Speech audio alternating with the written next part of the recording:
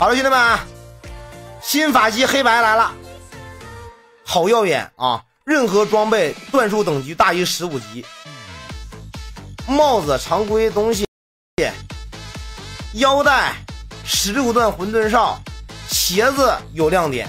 现在大家追求的什么？追求的不就是特效吗？对不对？有的人特效，有的人神农，有的特效神农。我们鱼岛的特效有狩猎啊！什么叫狩猎？对方召唤兽参战时，有百分之五的几率被我方法系抓获啊！罗汉特效鞋啊！谁说大特技的鞋子没有特效的啊？有啊！衣服的话是是那件衣服啊，是那件衣服，双加很高啊，熔炼欠缺一点的光辉衣服。我操，这武器啥时候买的？我操！你多了一个特技呀！啊，黑白，这武器是给鱼岛的惊喜，这武器很强，特技武器强于神佑，它四特技：光辉、凝滞、精青、罗汉啊，女拔啊，女拔啊。项链的话，大家可以，我操，你是几特技啊？啊，你腰带换个愤怒特技的吧，要不啊？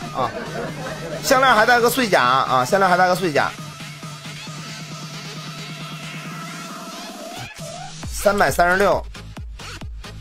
三百三十六，再加上一个十五啊，加上十五，三百五十一，减去九十六，出零二百五十五，法术暴击几率加一点一五，一点一五兑换成法伤等于相当于二百七十多初始零的项链啊，零是二十八，三十五，三十三，零是三十三，四十一啊，四十一下排的爆的多，戒指呢是七法伤啊，十六加十啊，十六加十，硬件的话跟妖总的时代来比呢，肯定是有提升的啊。